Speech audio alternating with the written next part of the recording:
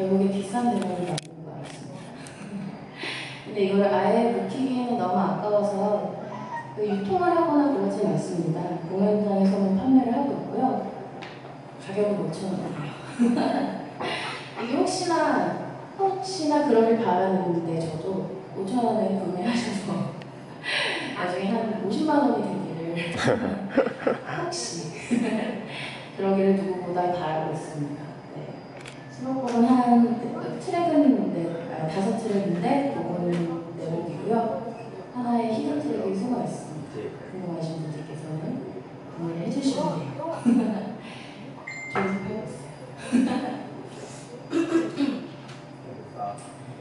그럼 CD에 있는 노래를 들려드릴게요. 가을비라는 노래입니다.